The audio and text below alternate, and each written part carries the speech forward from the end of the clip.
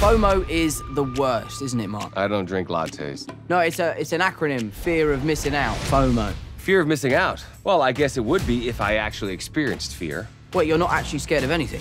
Why do you ask? Well, I mean, the fear of missing out can happen to anyone. Like when our characters Nate and Sully don't want to miss out on finding Magellan's hidden treasure. Yeah, but that is $5 billion worth of FOMO. I'd FOMO about that too. And what if you didn't get your tickets to see Uncharted in cinemas when they become available?